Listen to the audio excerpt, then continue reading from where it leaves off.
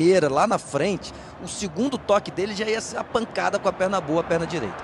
Vem de novo o Paysandu, Esli Garcia, na risca da área, traz pra canhota, balança, traz pra direita, bate pro gol, golaço!